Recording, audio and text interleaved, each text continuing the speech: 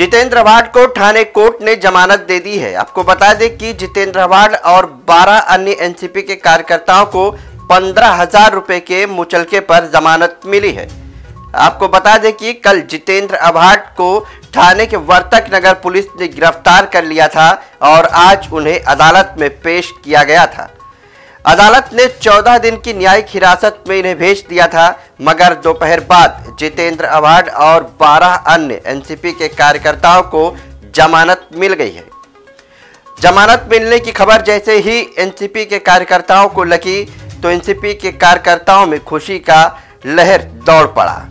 जितेंद्र भाट ने कार्यकर्ताओं का भी आभार माना है, क्योंकि जब से गिरफ्तारी हुई थी, तभी से कार्यकर्ता डटे हुए थे। तस्वीरें भी आप देख सकते हैं कि जितेंद्र अभाट का फूल बरसाकर स्वागत किया जा रहा है। जैसे ही जितेंद्र अभाट कोर्ट परिसर से बाहर निकले, वैसे ही एनसीपी के तमाम कार्यकर्ता सामने आ गए और जितेंद्र अभाट के समर्थन में जमकर नारेबाजी हुई और फूल बरसाकर इनका स्वागत किया गया।